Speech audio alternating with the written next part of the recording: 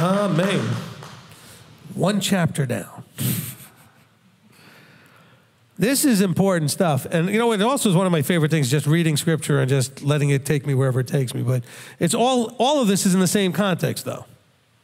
All of this is about him trying to tell a group of people whose peace was going to be greatly disturbed. Now remember, this is also a group of people, and you're also like this, and I didn't say this during the teaching, but this is during the afterburn, so you'll get this as an extra piece. They were already in a place of disturbed peace before they met him. So were you. Their lives were not wonderful before they met him. They were under Roman occupation. They were struggling through the day to day things that were going on. He brought hope to them. He brought understanding to them. He gave them a path that they could walk that would lead them to the peace that they desired, the deliverance that they desired, okay, the salvation, if we want to say that way, that they desired. And so you're in the same place. You did not have him, and your life was a certain way. Then you now have him, and your life should be different. Even if it's not physical in the details so much different, but you should have a whole different approach to it because you now have him. And if that isn't making a difference, then you really don't have him. Think of it that way. If you're not changed in the level of shalom you have, while all other things are going badly in your life, you really have not fully received Him. And that's what we talked about in the beginning of the teaching. All right, so in the afterburn here, we're going to allow for Manny to read some comments and questions. Okay, we have one question so far from Aaron Murray. It says, Question, Rabbi. Uh, Rabbi said, If you've seen me, it's like seeing the Father. Scripture says, He who has seen me has seen the Father. Please explain. No, in other words, for you if you're wondering what the Father's all about, okay, if you see Yeshua, which is what they literally were seeing him, how he acts, what he says, what he does, how he approaches things, that's like seeing the Father because everything about him was a perfect disciple. And a perfect disciple is an exact, perfect replica of the one you're discipling. You are learning to be them. And so, this is the chain, though, that becomes a challenge. If you are discipling with someone who is very much imperfectly discipled under whoever they were supposed to be discipled from, now you're becoming an imperfect copy because you're copying an imperfect copy. And all of us, to a certain degree, are copying imperfect copies because we're learning from flawed human beings, but we're looking to hopefully find those that are doing it as close to the truth and the actual um, template as we can. So he personally discipled the 12. They were sent to go make personal disciples of more, who would then go make disciples of more. So that's why Paul would use the language of imitate me, because that's discipleship, as I imitate Yeshua. That's also discipleship because you shouldn't be discipling with someone who isn't imitating the chain up the line of what you really want to be like. You don't imitate your discipler because you want to be him. You imitate the discipler because of who the disciple was trained by up the chain. And so Yeshua says, imitate me because if you imitate me, you're imitating the Father. If you listen to me, you're listening to the Father. If you're doing what I tell you, you're doing what the Father tells you to do. Perfect discipleship. Hopefully that answered the question. So I should be able to, as your teacher, say, like Paul, imitate me, not in everything I do, because I'm a flawed human being, as I imitate Yeshua.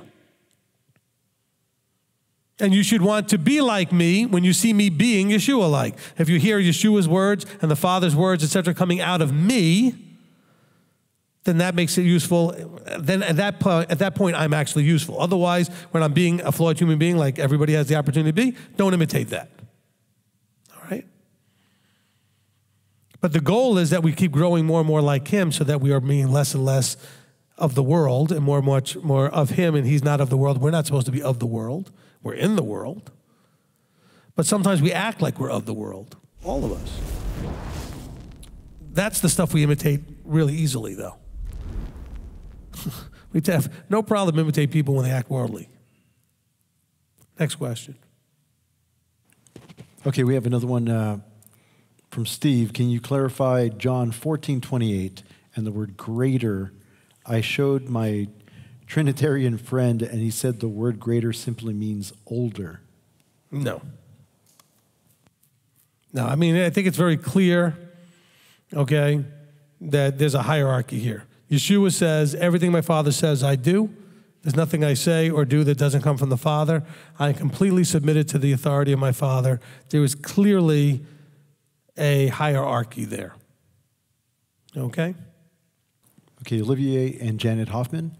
Rabbi, thank you so much. So in Wait, John- hold on, hold on. Also, just looking back at John 14, in the context of everything he's saying, he's saying it, look at the context. He says, Peace I leave with you, my peace I give to you. I don't give to you as the world gives. Do not let your heart be troubled, neither let it be afraid. You've heard I said, I am going away and I'm coming to you. And you're and you're all worried about me leaving. He says, I'm not, I'm not even that big a deal. He says, I'm going to the Father. He's the one that's important. I'm going to Him, and He's greater than I. This is to your benefit, is what He's saying. Not He's older. Let's put older in there, see if this makes any sense. You heard that I said I'm going away and I'm coming to you. If you did love me, you would have rejoiced that I said I'm going to the Father, for my Father is older than me. That doesn't make any sense. Doesn't, there's no value in that. My Father's older than me, so I should be going there. No, you think I'm so big a deal. He said, but I'm going to my Father. He's the real big deal. Okay? That's the point, and that's why he says, look at the context and go back to like verse 21. He who possesses my commands and guards them is he who loves me, and he who loves me shall be loved by my Father. Don't be so worried about me loving you. You'll get my Father's love. That's a much bigger deal. You see? The context of all of this is that you should be more impressed with my Father than me. Can we see that? All the way through, he keeps talking about the Father being greater he says, and this will get you his love. Forget about my love. You should want my Father's love. If you love me and guard my commandments, you'll have my Father's love. You'll be loved by my Father. That's the important thing. He's trying to transfer all of their emotional stuff towards him. They're trying to transfer it up to the Father. All of their feelings for him, all of the way that they were impressed with him, they saw the miracles, they saw the signs, all the things that he did, and said, No, you need to now realize my father's way more impressive than I am. And if you can do the things I'm teaching you, you'll have his love. All right, go ahead. So it's in the context, older makes no sense. Although it's probably true. I don't know if there's a way to age. There's no time with them. How could older make any sense when they're outside of time? there you go. All right? They, they dwell outside of the realm of time, so how could older have anything to do with anything? All right, go ahead. Okay, Olivier and Janet Hoffman. Rabbi, thank you so much. In John chapter 14, 17, so if the actual Messiah is in us, then we can truly do his will to the full context. Is that what chapter 14, 13 is saying? Well, I mean, it's, it's kind of tied together there, but he's saying, look, it's not that because he's in you, you can, you can do all these things. Remember, this is being offered to you as a help, as a helper. Not a do it for you, not an enabler, it's a helper. Okay? And that's really the important thing. The helper. The idea that it will stir to remembrance, it will teach you and remind you all the things that I told you. This is the key here. Okay? Verse 26 The Helper, the set apart Spirit, whom the Father shall send in my name, shall teach you all and remind you of all that I have said. Teach you, meaning instructing you on how to apply what I said. If it doesn't remind you, if, if you don't know what Yeshua said, the Spirit isn't just going to spontaneously just manifest it to you. You are to do your part. He doesn't give to you as the world gives. He's not just going to hand it to you and manifest it spontaneously. Now, I know you're thinking, well, Rabbi, but you say he does that with you. When I'm teaching, he's giving me what you need, not what I need. Okay? So while I'm teaching, he's, he's stirring. Now, by the way, he's stirring up stuff that I have already read and connect. If I didn't know Revelation 21, and I didn't know, as I'm in John 14, and I didn't have those verses, there would be nothing for the Ruach to connect. I take you all kinds of places, not places I've never been in the scriptures, not verses I've never thought of before. It's the connections that I never that I may never have thought of before. And the connections is what the teacher aspect of the helper is doing. But had I not studied these things, there wouldn't be anything to connect. All right, go ahead next. Cheryl would like to know Would the fear of disappointing Yahweh in greater tribulation be a lack of emunah, not fear of the tribulation itself, but fear of disappointing him in those trials? Listen to the fear of Yahweh teaching. That's exactly the point. Okay, the only fear you should have is the concern that you would disappoint him. Okay, that ultimately, not that you disappoint him on a daily basis. We do disappoint him on a daily basis. But you should have enough concern about disappointing him on a daily basis that you make an effort not to do it. But the only thing you should be afraid of, so to speak, is having an awe and a reverence enough for him that you want to not disappoint him. Okay? But that's not a fear like he's going to zap me and make me a grease spot. It's a fear that I love him so much. Look, if you I want to word this right because some of you are struggling in your marriages. If you remember when you first fell in love, when you first were to get married, even when maybe when you were dating, and you really had the strong emotion for that person, the one thing you were trying to be careful of, hopefully, was you didn't want them to look at you with their head down, looking at you like, what in the world did you just do? That disappointed, embarrassed, ashamed for you type, like, I can't believe you just did that. That's, that's because you cared so much about their opinion on what you were doing. Okay? See, a lot of times we have trouble disciplining our children. You know why we have trouble disciplining our children? Because they've not a strong enough love relationship with you, because you've not earned that and worked that out, so that the child actually's biggest thing is that they don't want to let you down. Because if they cared about letting you down, they would not do some of the things they do because they would care. They could care less about letting you down because you've never worked out the level of love you need to in relationship with that child. You don't spend time with the child. You, all you do is criticize and, and yell at the child. Some of you own this, I know you do. And so the child really could care less about disappointing you. They feel like they're always disappointing you. What's the difference? If you never express how much they please you when they do, and encourage them and all those kind of things. But he doesn't want us to be walking around in a state of fear. He wants us to be walking around in a state of optimistic, hopeful belief. In other words, the optimism and the hope and belief that if I make the effort, Deuteronomy 8 2, to show in my heart that I want to obey the covenant, to keep the commandments, that I get to be in Revelation 21. That's what you hold on to, not the constant paranoia. I hope I don't blow this. I hope I don't blow this. And I'm afraid, I'm afraid, I'm afraid. And uh, by the way, there are people doing that. There are people calling me up saying, Rabbi, I can't do this. I'm never going to make it. I'm, I'm, I'm not good at I can't. Why would he ever want me? You can't, you can't get there that way. You have to, he called you, I haven't said this in a couple of weeks, called you when and where in your life, knowing full well that that moment you could still get from where you are to the kingdom. He knows everything you did before that moment. He knows everything you did since that moment. But He called you whenever He called you, knowing from that point you could get there. From that moment you could arrive. Embrace that with all of your heart. That doesn't mean that you will arrive, it means you can. Don't get into one of these once saved, always saved mindsets. Go listen to Are You Saved? Okay? You can. He knew you could make it. He called you, He didn't call you to fail. And He's never wrong, which means that He knew that if He called you, you could make it. He also knows that some of the people He calls won't because of their own choices. But He called you knowing you could. Now, what are you going to do? It's all in your hands. What are you going to do? Okay? I mean, you know what? I'm going to use an old, old saying. It's an old, old proverb. I forget what religion it might have come from, whatever it is. But it's a story about the person who goes up to the wise man and he's got the bird in his hand. And he asks the wise man, Is the bird alive or dead? And he says, Well, if I say it's dead, you're going to try to prove me wrong and show me it's alive. But if I say it's alive, you could crush it and then you open up your hands, it's dead. So, really, you have the power. Well, that's your life. You, you're the bird. You, have the, you are the bird. You have that power. you could decide whether you live or die. You can only decide that because he's opened your eyes. So he's given you the way, the truth, and the life to get to, well, the way and the truth to get to the life. So you, you're like the person holding the bird in that story. A lot of you have heard that story. It's an old story. Probably goes back hundreds of years or whatever it goes back. All right, next question.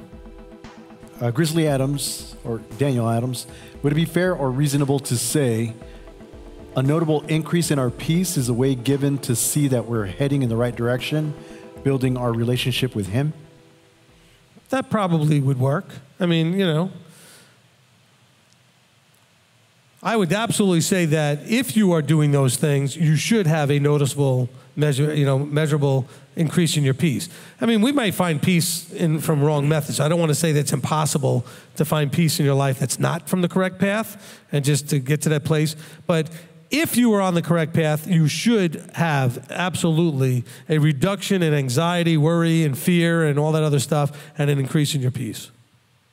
Okay, next one is from I mean, half the country right now is finding peace just by smoking marijuana. Now they have no, that's it. Yeah, I mean, that's not the path, you see. So just because they have an increase in their peace, you know, or they're numbing it with alcohol or doing some other thing, that you have, if you're walking this out, you should have much more peace. But don't just say, I have more peace. It means definitely it's because you're walking it out. Only you know what you're doing. Okay? Okay, next one is from Pete and Brenda Lamb. Um, question Could the ruler of this world in 1430 also be talking about Rome and the Sanhedrin? It seems to fit the context of the events which are about to unfold. Certainly. It certainly could do that as well. Okay? Now, bear in mind, it wasn't like Hasatan himself was coming, but he was going to use what he was going to use to try to accomplish thinking, I'm going to kill off this potential threat to his kingdom, which is Yeshua. And so, you know, through his minions, we'll call it, people that are under his influence.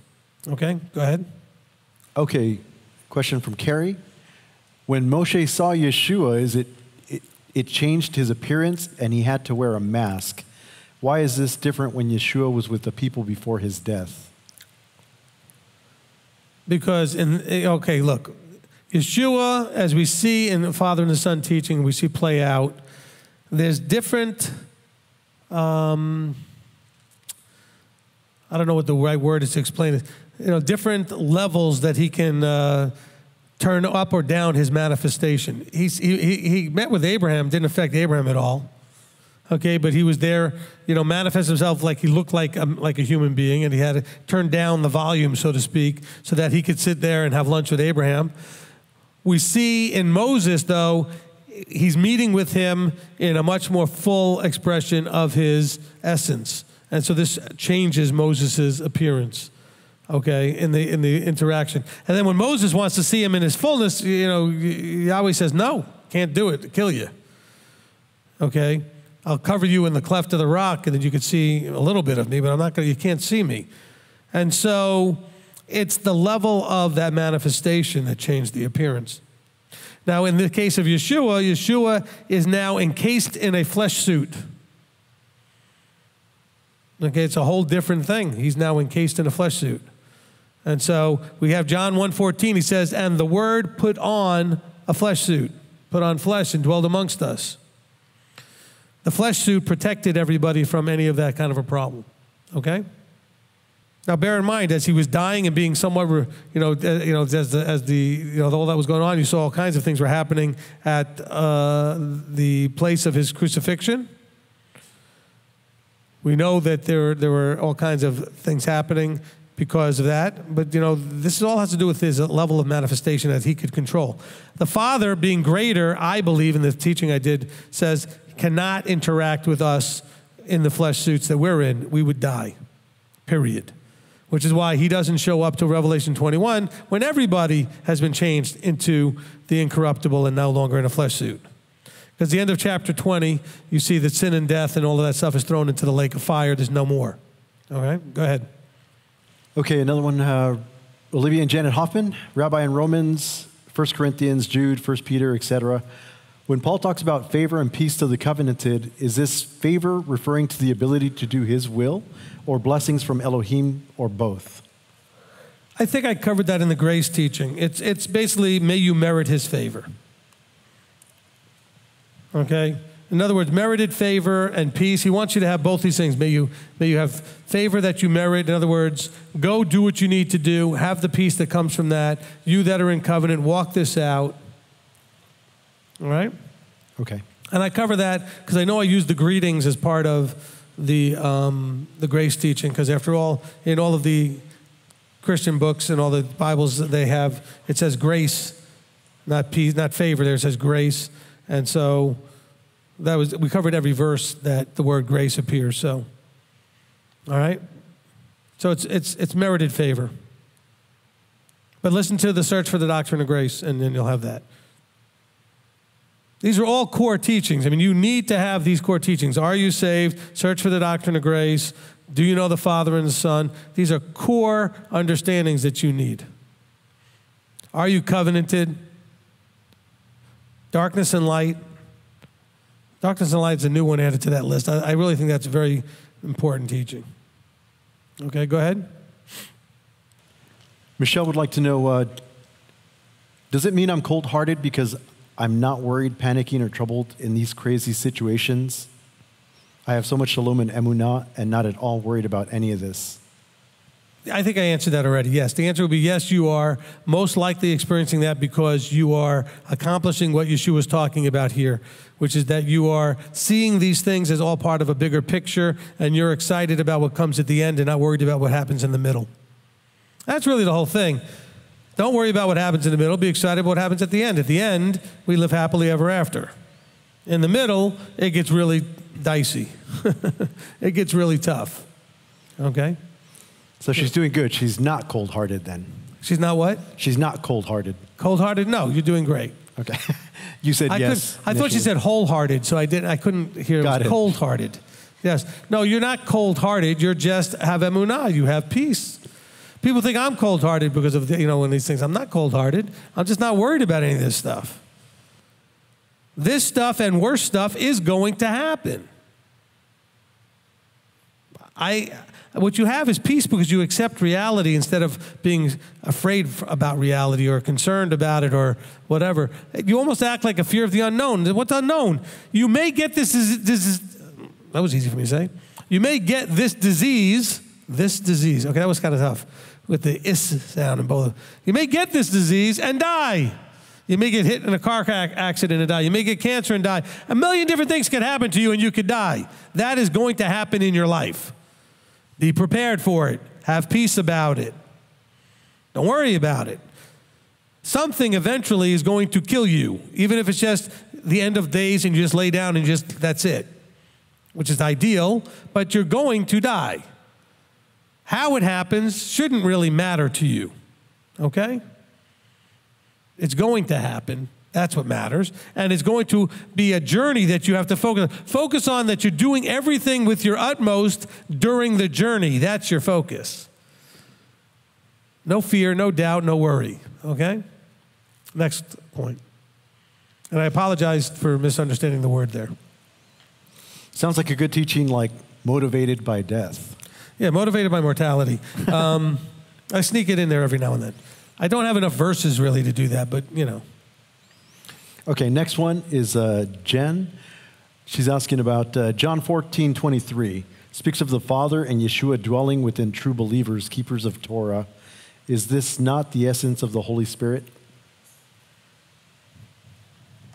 Say that one more time. John 14, 23. If anyone loves me, he shall guard my word. My Father shall love him. We shall come to him and make our stay with him. Her question is John 14, 23 speaks of the Father and Yeshua dwelling within true believers or keepers of Torah. Yeah. Is this not the essence of the Holy Spirit? I'm not understanding the last part of the question. The Holy Spirit is not what's being talked about. here. He's talking about literally the Father and the Son coming to live with us. The Holy Spirit is the means by which they have access to and communicate with you. All right? So that's what's being talked about in basically in chapter, in the same chapter in like verse 17, 16, 17, where he says the other helper.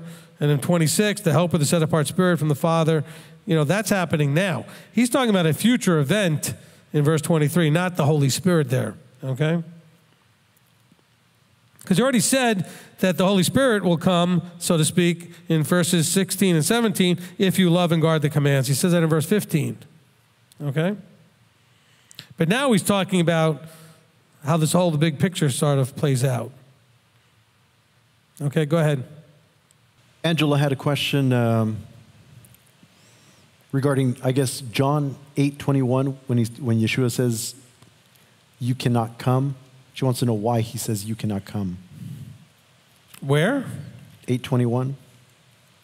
Well, because he's talking to those that are not part of the group. He's talking to those that are scoffers or mockers. This is the, the Pharisees and etc. This is, you know, guys who are, are not getting it. You got to get the context of who he's talking to here. Okay, let's let's kind of cover two things really quickly here. Number one, all right, you must have as you're going through all of this, uh, this particular teaching, go and listen to understanding the ruach. Because if you don't understand the Ruach, you're not going to understand everything I said today. Matter of fact, I may confuse things a whole lot for you going through John 14 here. Go listen to Understanding the Ruach. That will explain everything that you need to know, that will make sense of what I said today. Second thing is, when you look at verses like in John 8 21, you must use the absolute, um, like mantra I've been saying for years now. You must use context. Go back and figure out Who's talking? Well, it's Yeshua. But who's he talking to? He's not talking to his disciples here. Okay, he is talking to set up our place. But if you go back in the chapter, there are people already giving him grief and mocking him and saying, oh, blah, blah, blah about him. Those people, he said, you're not able to go where I'm going. All right? All right, chapter 8, verse, um, like verse 15, you judge according to the flesh, I judge no one. And he goes, in your, and in your, in, uh, in your Torah also it has been written that two witnesses make something true. There are people that are attacking him and giving him problems. Okay? Of course, John chapter 8, you know, has to do with uh, the lady, uh, you know, caught in adultery. I've got a whole teaching with that. Okay? Okay, look at verse 22. Then Yehudim said, he shall, you know, shall he kill himself because he says, where I go, you're unable to come? You know, and then he says, Look, verse 23 explains it all. You are from below, I am from above. There's a whole different thing going here. Look, we're not able to go where he's coming literally, going literally. Besides, Revelation 21 says it's coming here. But he is specifically talking to a bunch of people that are scoffing, mocking, not getting it. All right? So the whole thing is context. And this all happens after the woman caught in adultery thing. Okay? Okay, next question from Daniel Woods. How do people who experience extreme physical pain on a daily basis have shalom? I guess it has to do with, you know, your definition of shalom. Okay? Um, shalom has to do with accepting things as they are. It is what it is. You know, that's something you, that if you know me, you hear me say a lot. Okay, that's, that's definitely a rabbi thing that I say all the time. It is what it is. And if you have the ability to truly say it is what it is, then you means that means you have peace with it. There's an acceptance. Now, it will disturb you. The pain is disturbing, and it disturbs your peace on a different level. Physically disturbs your, your peace in your body. But we're talking about a spiritual and an emotional peace. If you let the pain cause you to fear, doubt, be depressed, and all the negative emotional stuff, then it's doing something it shouldn't do. You have to find a way to accept that reality as being a reality and not allow it to cause you emotional losing of peace. Okay, there's a difference between the two. Most, mostly they go hand in hand. Most people lose both. When something disturbs your physical peace, it also disturbs your emotional peace and your spiritual peace. So, really, all three. All right? But you can control that. Okay, you can determine how you react emotionally to anything that happens around you. Could, would you say that Yeshua maintained his shalom when they were scourging him? I think he did. You think he maintained his shalom when they nailed him and put him up on the stake? Sure. Was he in pain? Sure. Did it disturb his physical peace? Absolutely. But he didn't lose his shalom emotionally and spiritually. He knew it was what it was. Next question's from Laurel Rutledge. Wait, well, I, have to, I, I do this a lot. I know. I apologize. to the person in all that pain, just understand that nothing I said meant that it was easy.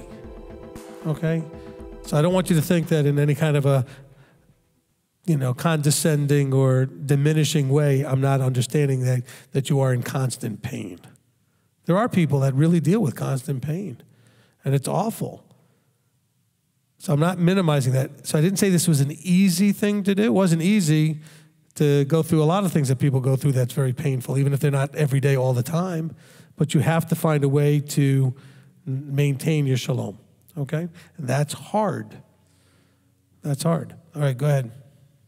Okay, actually, I'm going to save that one for the very end. Uh, next one is Nigel Phillips. Rabbi, is it correct to connect your last comment, one of the comments you were talking about uh, regarding emotional response, uh, affecting our peace, to Matthew 6, 19, and 20? Yes, and we're going to get to that at some point in the teaching. That those verses are going to be in there. In 19 and 20, it says, "Do not lay up for yourself treasures on earth, where moth and rust and destroy, and where thieves can break and steal. But lay up your treasures in heaven, where neither moth nor rust, etc." Yes, okay. But really, the key to that is the emotional response. That was a person who was emotionally connected to things here, to stuff okay? And we'll see that with the people that ask, you know, well, what do I need to do to have eternal life? And he says, well, then go and sell all your stuff. And he says, but I'm, I'm attached to my stuff. See, it's an emotional problem, all right? I understand that problem. I, have said this before. I mean, I had a problem when I was a kid. If you stole, broke, or did any damage to one of my stuff, when something I owned, that actually hurt me more emotionally because I was attached emotionally than if you went over and kicked me. That, that's, you know, people have that kind of a foolish attachment to the wrong things. Now, I don't have that problem, uh, you know, at, this point. I, I, I, I, really had to work hard to get rid of it. It still pops up in my head every now and then with my stuff, and I have to overcome that, you know. I had a shofar at one point, and I was traveling, and I was I had a few left of the ones I was traveling with, and I was selling them when I, would, I was visiting some congregations. And the lady said, "Our congregation needs a really great horn." I said, "Well, I've got a couple more left in the car. You can certainly buy one of those for the congregation."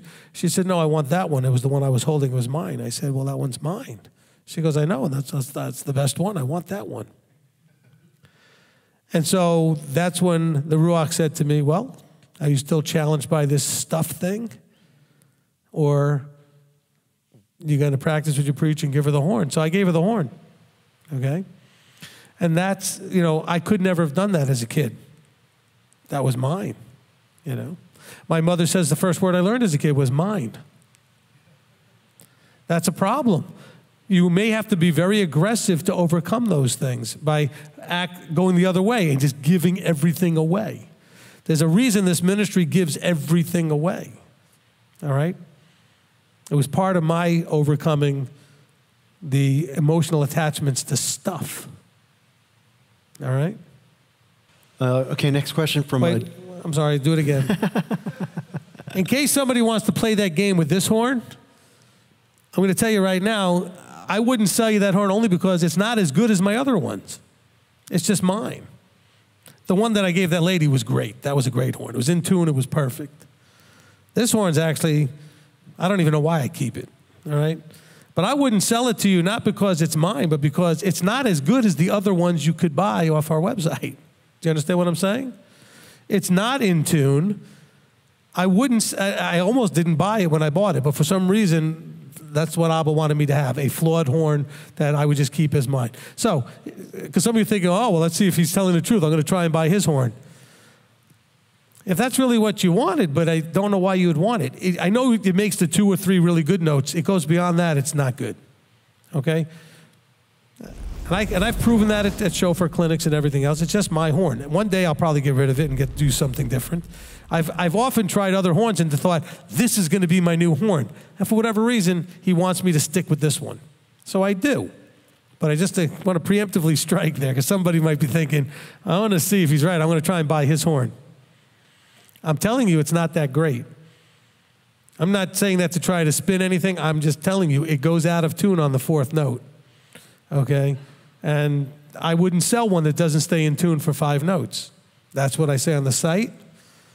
Okay? And so it goes flat on that fourth note. And so I wouldn't sell it. Anyway, just, just want to throw that out there because I know there's got to be somebody out there thinking, well, I want to see if he's, you know. Anyway, next, now you can ask the next question. Okay, next question is from Jennifer. She wants to know Can a person who has PTSD or bipolar disorder find that level of peace that Rabbi is talking about? I, I don't know. I mean, I do know enough about PTSD and, and bipolar and those to a certain degree. I don't know enough about what those disorders allow or don't allow ultimately and how much they can get there. Just make the effort as best you can within the context of the disorder. I remember I was talking about in a lot of these things, it has to do with those who are not actually in a diagnosed handicap. In a diagnosed handicap, you have limitations because of your handicap. Remember, it's all about, don't feel frustrated, oh, I can't do this, I'm handicapped. No, it's all about Deuteronomy 8 2. It's about the effort. It's about your heart to make the effort. So try to make the effort in your coherent, cohesive, non PTSD and non uh, bipolar moments to have peace. And by the way, have peace with the fact that you have PTSD and bipolar. Okay? That doesn't mean do, don't, don't stop doing things to try to address it. It just means have peace that for right now, this is what you have. All right? But have peace. You know, Paul says in one point, he says, Look, I've learned to be content in whatever state I'm in. It's your state that you're in, so be content. You have to walk it out from where you are in the condition you're in right now. Whether you're rich, whether you're poor, whether you're physically handicapped, emotionally handicapped, psychologically, whatever it is, you have to walk it out from where you are. He called you knowing you had PTSD and knowing that you were bipolar. All right, so that means that you can do this to whatever degree you can do this. And whatever degree you can do it, if you put in all your effort the best you can, it will be enough. It's a good question, though. Go ahead, next. And I'll try not to keep interrupting the question. Norma Silva would like to know 1430 is uh, 1430 applied to our times? No, applied to. I'm going to try to read her question here. She's putting me to the test. 1430 applied to our times means that he is distanced from us and we should depend on his Ruach for protection against the ruler of this world? There will be a lot more that we talk about the, the world and the rule of this world as we go through the teaching, so just be patient with that. But the answer is we are still dealing with that verse. What he said, I shall no longer talk much with you, for the rule of the world is coming. In the bigger context of it, we're still in that verse. The rule of the world has come, and we're under that uh, authority still, and uh, he doesn't talk to us much. Okay? And what literally does talk to us, we don't listen. So that's part of the problem. All right. Next question is uh, from Bernard. Uh, Rabbi, to what extent do we make plans and preparations, or do we just live as we currently do now with shalom? Oh, no, no. You definitely do everything within your power, but you have contentment that while the process is playing out and you're doing all that you can, you don't do it out of fear. You don't do it out of panic. You don't do it out of anxiety, but you're doing it in contentment. You do it knowing that you're doing everything you can. So if there's something you can do in, in, in a place where you have struggle, like Bernard's in South Africa, it's a, it's a very challenging place.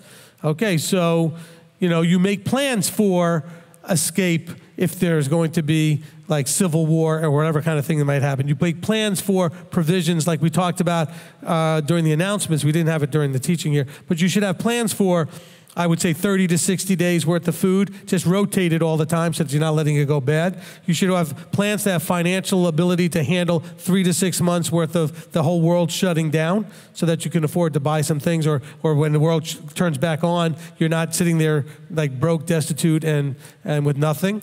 I mean, you should be preparing for all possible contingencies, but doing it not out of panic and fear and, and, and also not out of thinking that your preparation is going to fix everything.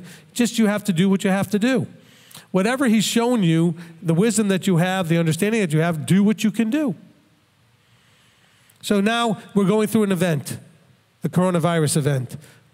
Bernard's going through two events the coronavirus event and the upheavals that are going on in this country. We are to learn while we're in the event and then make the necessary adjustments during and for after the event. And so do everything you can do, but do it with shalom. Shalom doesn't mean, well, I've got peace, I'm just going to sit here and do nothing. No. But have peace while doing it, okay? Okay, uh, Messiah Complex has a question. Is it safe to say that a lack of shalom is evidence that one has taken their eyes off Yeshua, straight off the path, maybe? Yes, I would say that there's probably some of that. You know, we're going to look at um, we'll look at Peter at Kepha walking out on the water. That's one of the verses we'll get to eventually. And he was fine until he took his eyes off Yeshua. okay. And so, yes, I think when you take your eyes off of, it's not just taking your eyes off Yeshua, taking your eyes off of the whole picture and plan. This is why feast keeping is so important, because the feasts remind us in a cycle of the plan. And we go through the cycle of remembering this eventually leads to Shemini Atzeret at the end, which is, in essence, the new beginning of the new kingdom. Okay?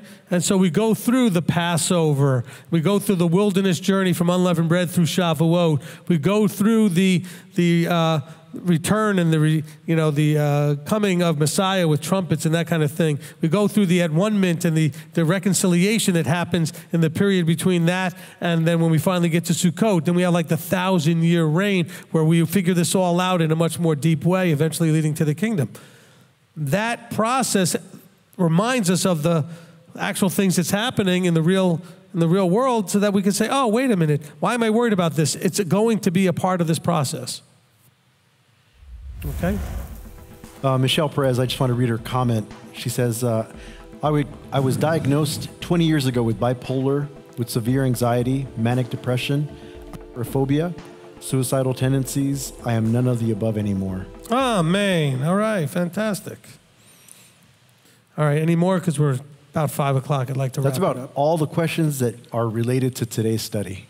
Okay, anything else? Please just submit your questions. Manny t- will take care of them as best he can or get them to me.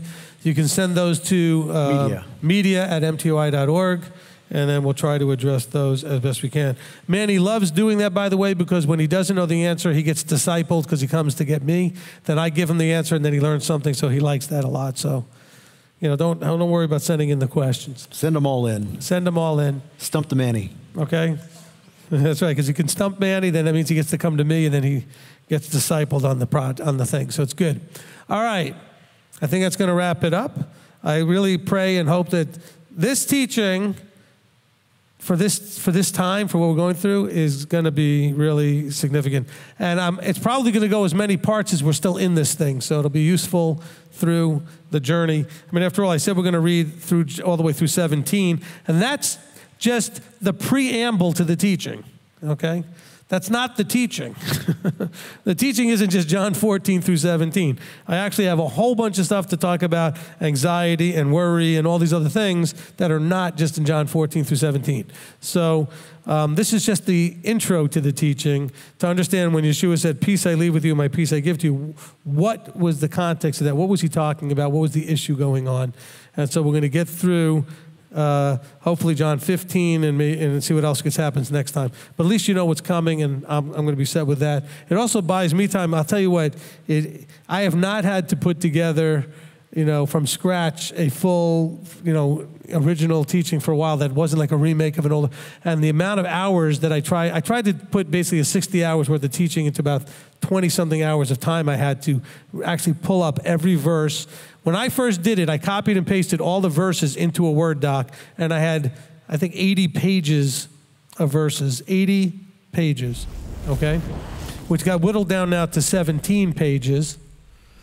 All right, and so, and we actually only covered half of one page, so just so you know. Um, but we have 80 pages of, so I'm just letting you know that, that that's the amount of work. Because some of you think, that, you know, might, may wonder, what's it take to put a teaching together? The way I do the studies and put it together, and bear in mind, that's just pulling the verses up with the right word in it. Now I've got to read each verse, see if it's actually relevant. Is it talking about it in the right context? Then I got to do like I did with, with verse 27 of John 14. Next thing you know, I had to realize it covered four chapters for the context. How much time do you think I spent going back? How much further back? I mean, that took a little bit of time for me to then go forward and figure out where we're going to go with this thing. That was just to deal with one verse. I have to do that with every verse that we use. Where do I start? Where do I finish? And I got to sit there and uh, wait for the Ruach to guide. I read a verse. Do you want me to start there? Nope, keep going. You want me to start there? Nope, keep going. You want me to stop here? Nope, keep going. Till I get, yes, that's where you're going to start, that's where you're going to stop. And guess what? On a Friday night before I teach, I'll review what I was planning to read the next day, and he'll change it on me. He'll have me start a little earlier or start a little late. I mean, you know, that can change. But that's why I review these things even on, on Friday nights before. So, anyway, so keep me in prayer that I'll have enough time to spend, you know, just, just putting these things together because it's an incredibly large volume of things. I mean, just go ahead and you look up in your concordance all the verses that have the word peace or anything that's peace, peaceful, anything like that. Worry, worried, anxious, anxiety, um, sad or sadness, uh, courage, strength, encouragement, uh, fear, doubt, doubting. I mean, think of how many thousands of verses I just gave you. Okay, and I don't even think I covered all the words I looked up for the teaching. So just that's what it takes to do this. So if anybody's wanting to do this and wants to know what it takes to do this, and you think, oh, he just gets up here and wings it, not exactly. Okay? Now, I didn't have any more notes than just read John 14 and all the way to 17, but I did pull you out just so you know why, one or two verses from each of those chapters to show you how those chapters are still relevant to the point. Instead of just saying, and to understand this, we're going to read four chapters. But why? Because there's stuff in each of those chapters that connects to that one verse to complete the thought. I'm trying to give you some tools to show you how you can do your own studies too. But you're going to have to, over, if you're like me, you're going to have to overcome the ADD though. The ADD to sit there and go through two, 3,000 verses of the word references. Because some people, I've had people say, well, you know, I don't know why we're so impressed with that guy. He just does word studies. Okay, well, then you do the word study. See if you come up with the same stuff. Because that's, he's, the person wasn't wrong. I really am just doing a word study, but it's so much more. But it starts off, it's more of a concept study. And I'm looking for key words for the concept. I want to understand what disturbs your peace and how you can have it. So, what words will help me find the verses that talk about that? Okay, so that'll give you a little insight to how I put the mechanics of putting a teaching together starts off with an idea and then trying to figure out what words are connected to that idea so I can find the verses that discuss that concept or idea. And then one verse will lead me to another verse, will lead me to, oh, I never thought of that. That's connected. And I have to look at more those words up and those things up and see where they're connected to. And then you got to read all the verses before and after to figure out where to start and stop and what the full context is. Think of it like this I use this is the analogy that my wife understands because I, I used to do this all the time. Imagine you're doing a 3,000 or 5,000 piece puzzle, okay? Because that's how many verses I probably looked up. And they're all in the box. And so you don't really know what you have, but you know they're probably part of the picture. And now, wait, imagine that your 5,000 piece box puzzle only has 2,000 pieces that are actually part of the puzzle. The other 3,000 are similar, but they really are not related. Okay? Like, for example, I look up the word peace, and there's a thousand verses. I'm making that up. I don't remember how many, it was 400, whatever it was. A lot of the verses were in the phrase peace offerings. So none of those had anything to do with this. But they still were in the box. I still had to go through them and find them. Okay? So now the first thing you got to do is flip over three, four, five thousand pieces. Then you got to look at each piece to see if it's even part of the puzzle. Then you got to take the ones that you have that are part of the puzzle, and you got to realize I'm missing more pieces that are linked to those pieces. Like the piece is part of something, but there's pieces that go on this side of it and that side of it and that side of it that are connected, and now I got to figure out where they are. And then you got to figure out are they themed? In other words, are they about what disturbs your peace? Are they about how you gain peace? Are they about worry? Is that separate a category than being afraid? Is it separate from being doubting and, and dealing with doubt or fear? Look, we did a lot of teachings, uh, a lot of stuff about fear as in fear of Yahweh. Now we're going to be doing fear from being afraid. Because that's a different fear. I showed you the good fear, the fear, awe, reverence, and respect in fear of Yahweh. Now I'm going to show you a different fear where they're afraid of stuff they shouldn't be afraid of. Okay? And so, you know, when I talk to my wife and I'm putting a teaching there, she'll say, Where are you in the teaching? I said, I'm still pulling the, I'm still pulling the pieces out of the box and flipping them over. So she knows I'm still looking up all the verses. Or I'm saying, I've got all the pieces flipped over, now I'm trying to separate them by category. Like, I want all the blue pieces over here and all the red pieces over there. Or maybe all the pieces that look like worry and all the pieces that look like afraid. And, you know, I'm trying to piece things together that I know attached together, that are connected. And then I got to start to see how it all tells a story and makes the, makes the point that needs to be made. And that takes probably 40 to 60 hours to do it right, which is why this isn't even complete. This is enough I knew I could get started with. But the part that they're going to take the long part is the part where we didn't get into yet. This chapters 14 through 17 is going to buy me the time to put in the 60 hours sorting through the other 5,000 pieces. You see what I'm saying? You understand? So I, I, I revealed my secrets. They're not really secrets, but you understand? Uh, maybe that was useful to somebody. I'm just hoping that was maybe useful to somebody to understand.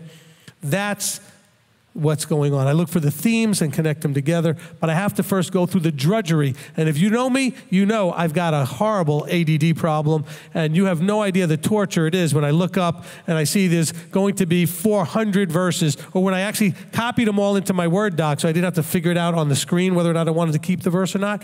I figured it's easier just to put it in a doc and just delete them as I don't need them. And to look at 82 pages, what it was, and say, I've got to look through every verse on 82 pages. Okay. Okay. And as I got through it, now I'm down to 17 pages of what I think. I've, I've already looked at all of the pages, including the 17, but that's what I've got left to sort through is the 17 pages. And I'm still going to end up getting rid of some of that, but still, you know, it's a little daunting. I did have a guy one year came up to me and he said, "Well, Rabbi, you know, I know you're doing Torah study. It was on a Torah study night, and we were doing it live. You know, get together." He said, "But I really would rather as you just teach. You know, could you tell me how to do it so I could do it myself?" And when I explained this process, he looked at me and says, "Wow, that's that's way too much work." I said, "Okay, then sit down and listen." I don't know what else to tell you. It's a lot of work because a lot of people say, "Well, I don't know why we need a teacher. Why can't we just do this ourselves?" Because you won't. And the part that's my anointing, you don't have it anyway. After you sort all the pieces out, everything else, you might not know what to do with them. You might not see the connections. Look, I didn't see that connection between John 14 and, and, and Revelation 21 in that clarity, those verses, until today as I said it to you. So, would you have found that same connection? Maybe. I don't know. I'm just saying. You know, sometimes it has to be in the moment. All right, look, you know what I think also you need to know is that when we finally start doing the discipleship program and the training program with the yeshiva, I will do one of these type of studies live with the class where we'll look up the verses and you'll see you'll actually watch me go. Brianna actually did that last night. She sat with me and watched me go through verses. And actually i pull up a verse and i asked her okay where do you think we should start? Where do you think we should end? She did very well. She got a few of them right. She did good. But she wanted to see how i do these things. So she sat with me. I said okay here's the next verse that we're looking at Let's now go, look before it and after it, see where we're going to start, where we're going to end, and she did really good.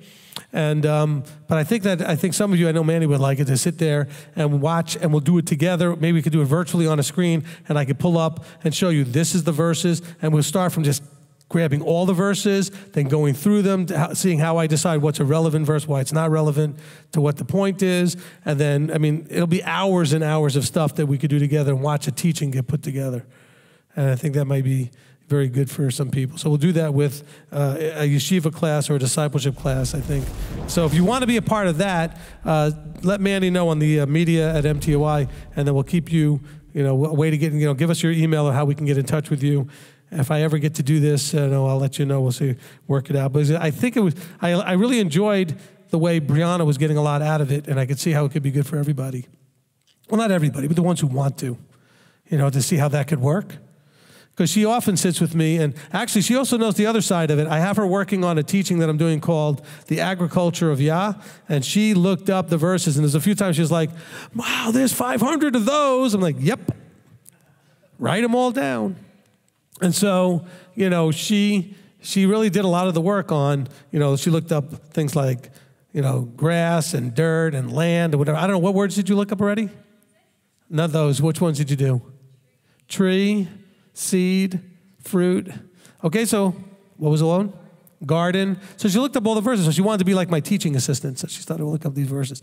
And then she realized there's a lot of work and it's kind of it's kind of drudgery in a way because you're just pulling up a lot of verses at first, but it becomes incredible as you watch it develop after that. I love this part of it where I look at the verse and figure out what the connections. The pulling all the verses out though, I'd rather have a teaching assistant do that for me.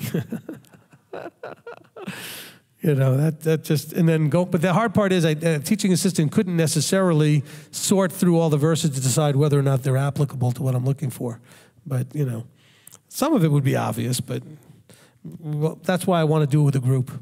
Anyway, that was a long winded way after a closing prayer to keep talking. Come on up here. Shabbat shalom.